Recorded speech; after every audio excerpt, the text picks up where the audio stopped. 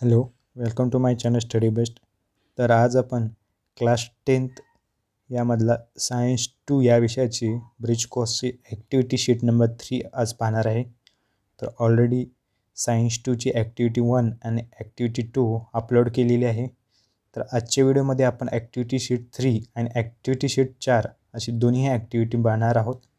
Activity sheet तीनमध्ये आपलं let's understand genetic disorder दिलेलं आहे. रेफरन्स जे आहे आपलं चॅप्टर नाईन्थ सॉरी क्लास नाईनचं चॅप्टर सिक्स्टीन जो आहे हेरिडिटी अँड व्हेरिएशन यावर रिलेटेड ही ॲक्टिव्हिटी शीट नंबर थ्री आहे. त्याबरोबर यामध्ये काही इन्फॉर्मेशन दिली आहे ती तुम्हाला रीड करायची तीच एक्झरसाईजमध्ये यावर क्वेश्चन्स आहेत. हे सर्व disorders due to chromosomal abnormalities disease जे आहेत ते पण करायचे त्यानंतर लेट्स प्रॅक्टिस हे सर्व क्वेश्चन्सचे आज आन्सर आपण आजच्या व्हिडिओमध्ये पाहणार आहोत. तर ॲक्टिव्हिटी थ्रीचा जो क्वेश्चन वन आहे write correlation forty four plus X gives Turner syndrome there four forty four plus X X Y gives Klinefelter syndrome त्यानंतर सेकंड बी जो आहे तो haemophilia gives monogenic disorder Leber hereditary optic neuropathy is gives mitochondrial disorder त्यानंतर question two आहे see the picture and write the name of this disorder तर तुम्हाला P D एफमध्ये picture दिसत आहेत. त्या पी डी एफमधले त्या पिक्चर तुम्हाला बघायचे आहेत आणि त्याचे जे डिसीज आहेत त्यांची नावं याचे आन्सर मी यामध्ये सांगणार आहे. पहिलं जो पिक्चर आहे तो आहे डाऊन सिंड्रम दुसरं जे आहे तो टर्नर सिंड्रम आणि तिसरा आहे क्लेफ्ट लिफ्ट त्यानंतर क्वेश्चन थ्री आहे. From the given diagram identify genetic disease how you identify write it the disorder तुम्हाला क्वेश्चन थ्री किंवा क्वेश्चन फोर असे वेगवेगळे दिले असतील क्वेश्चन त्याचं पूर्ण मी एकत्र लिहिलेलं आहे. तर याचा आन्सर आहे this disease called a sickle call anaemia symptoms of this disease is swelling of hands and legs pain in joints serves general body aches frequent as colds and cough constant low grade fever pale face low haemoglobin content red blood कॅप्सिस म्हणजेच R B Cs which are normally biconcave but person who suffers from this disease its rbc is sickle shape from this i identify the disease this is a, a monogenetic disorder असं याचा answer आहे question four पहा can you tell मध्ये A जे आहे ते पहा Raj is unable to see in a light he stumbles wild walking he couldn't let out of house from which this this genetic order is suffering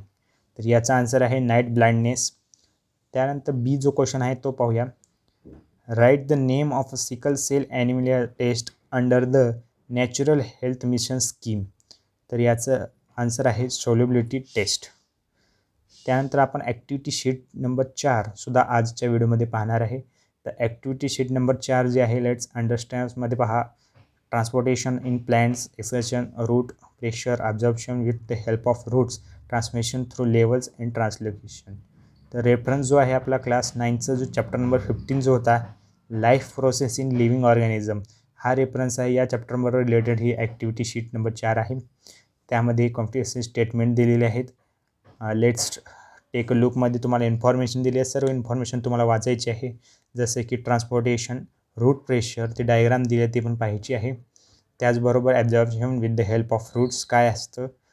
ट्रान्सप्लेशन through lives काय असतं? आणि त्याच्या diagram जे दिलेले आहेत सर्व करायचे आहेत त्यावर रिलेटेड क्वेश्चन्स यामध्ये तुम्हाला भेटणार आहेत. त्यानंतर आपल्याला लेट्स प्रॅक्टिस म्हणून खाली एक्झरसाईजचे क्वेश्चन दिले आहेत ते आपण या सर्वांचे आन्सर आजच्या व्हिडिओमध्ये पाहणार आहोत.